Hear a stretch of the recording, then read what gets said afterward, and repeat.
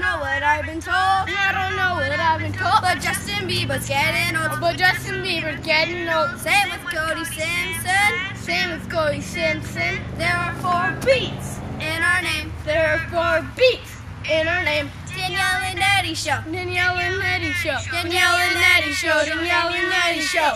Yeah, man.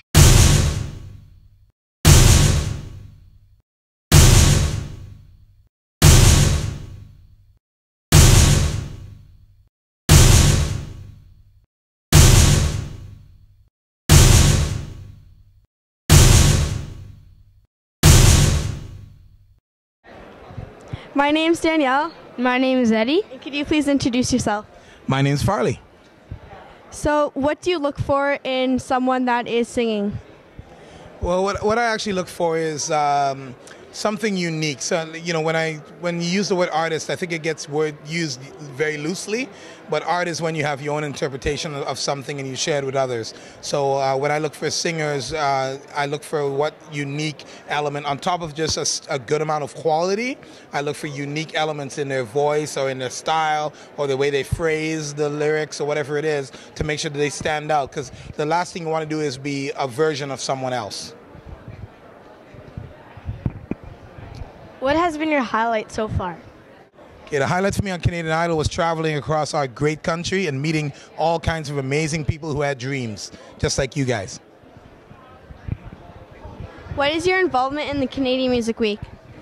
I've been on a board. I'm on a few different industry boards over the course of my career. I have been, and I'm still on the board of something called Much Fact, which is the funding body that represents Much Music, and we provide uh, grants for independent artists for video, web, what are called EPKs, which is an electronic press kit, right, and viral videos.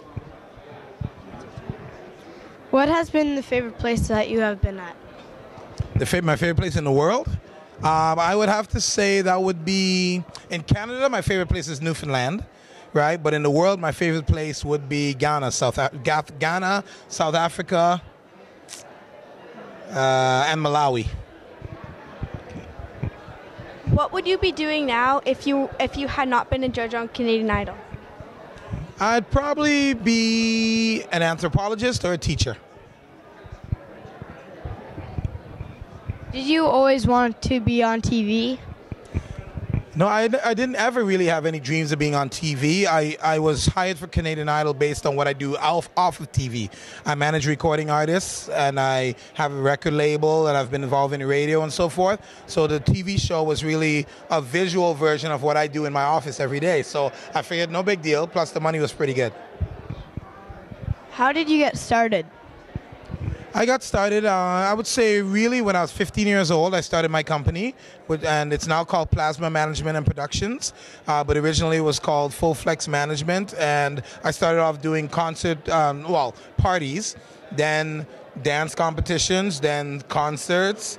Then I got into managing recording artists. Then I got into uh, radio. Then I got in. I was fortunate enough to be asked to do Canadian Idol and uh, so that was television. Now I'm producing television and shows and all sorts of stuff. So, how do you like producing TV shows? Well, I love it because TV is like anything else. It gives people a chance to showcase their talents, and that's really the foundation of my interest is showcasing, helping other people showcase their talent, just like right now.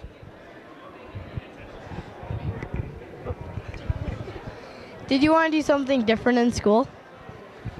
No, I was uh, one of the students that um, I was a good student. I really liked math, so I went to university and I was going to be an accountant, but that was kind of boring. And then I decided to up my eh, the excitement and do finance, which is how money works. And uh, it was during that time I'd already started in the entertainment business, so I married all of my mathematical interests into entertainment, which is another love that I have, and uh, ended up here today talking to you. So we would like to thank you so much for letting us interview you. And I'd like to thank you for interviewing me. And what you so it's Danielle and Danielle and Eddie. Awesome. Good job. So listen, if you guys want to check out some really good interview skills, you need to check out Danielle and Eddie, the D&E project.